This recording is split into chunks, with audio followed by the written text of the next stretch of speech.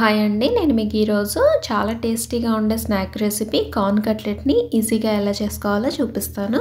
నేను ఫ్రోజన్ కార్న్తో చేస్తున్నాను. వాటిని ఒకసారి వాటర్లో వేసి వాష్ చేసి నీళ్ళన్నీ చక్కగా పిండేసి యాడ్ చేస్తున్నాను. నీళ్ళు అనేవి ఉండకూడదు. వీటన్నిటిని ఒకసారి మిక్సర్ జార్లో వేసి కోర్స్గా గ్రైండ్ చేసి తీసుకోవాలి. నార్మల్గా మొక్కజొన్న కండలతో చేసేవాళ్ళు ఒకసారి ఉడికించి డీసీడ్ చేసి కొద్దిగా మ్యాష్ చేసుకోవాలి.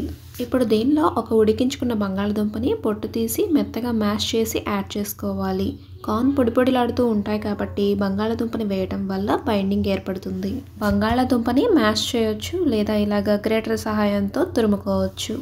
ఇప్పుడు బ్రెడ్ క్రమ్స్ని యాడ్ చేయాలి. బ్రెడ్ క్రమ్స్ లేకపోతే ఇలాగ రెండు బ్రెడ్లని ఎడ్జెస్ తీసేసి మిక్సర్ జార్లో గ్రైండ్ చేసి యాడ్ చేసుకోవచ్చు.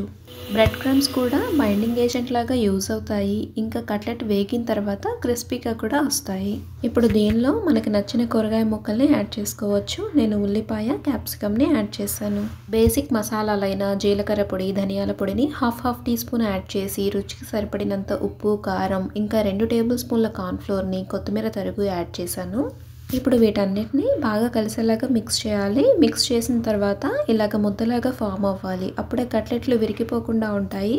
ఇప్పుడు రెండు చేతులకి నూనె అప్లై చేసి చిన్న చిన్న ముద్దల్లాగా తీసుకొని రౌండ్ బాల్స్ లాగా ఫామ్ చేసి ఆ తర్వాత అప్పచ్చుల్లాగా ఒత్తుకోవాలి. ఫస్ట్ వన్ చేయడానికే కొంచెం టైం పడుతుంది. ఫస్ట్ వన్ చేసేసారంటే మిగతావన్నీ ఈజీగా చేసేయచ్చు. అన్నట్టు చెప్పడం మర్చిపోయాను. కార్న్ ఎంత తీసుకున్నానో చెప్పలేదు కదా. నా చేత్తో మూడు గుప్పెల దాకా తీసుకున్నాను. అంటే రెండు కప్పుల దాకా ఉండవచ్చు. ఇంకా దీనిలో అల్లం తరుగు యాడ్ చేయొచ్చు. పచ్చిమిర్చి ముక్కల్ని యాడ్ చేసుకోవచ్చు. క్యారెట్ తురుముని కూడా యాడ్ చేయొచ్చు. చూస్తున్నారు కదా ఎటువంటి కలర్ని యాడ్ చేయకపోయినా కార్న్కున్న న్యాచురల్ కలర్ వల్ల మంచి కలర్ వచ్చాయి. ఇప్పుడు వీటిని డీప్ ఫ్రై చేసుకోవచ్చు లేదా షాలో ఫ్రై అయినా చేసుకోవచ్చు. ముందుగా ఒకసారి డీప్ ఫ్రై చేసి చూద్దాము. ఫ్రై చేసుకోవడానికి ప్యాన్లో ఆయిల్ తీసుకొని ఆయిల్ వేడైన తర్వాత అన్నిటిని ప్లేస్ చేసి రెండు వైపులా తిప్పుకుంటూ దోరగా వేయించి సర్వ్ చేసుకోవడమే. ఈవినింగ్ టైము ఏదన్నా స్నాక్ తినాలనుకున్నప్పుడు ఒకసారి ఇలాగ కార్న్ కట్లెట్ని ట్రై చేసి చూడండి. కార్న్ చాలా హెల్తీ కాబట్టి దీన్ని కూడా ఒక హెల్తీ రెసిపీగానే మనం ట్రీట్ చేయొచ్చు.